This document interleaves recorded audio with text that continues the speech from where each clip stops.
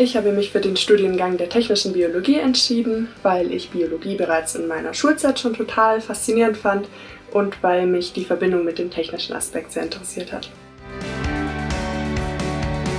Im Studium gefallen mir besonders die Laborpraktika, in denen man Wissen aus den Vorlesungen dann auch mal praktisch anwenden kann und manches dadurch besser verstehen kann.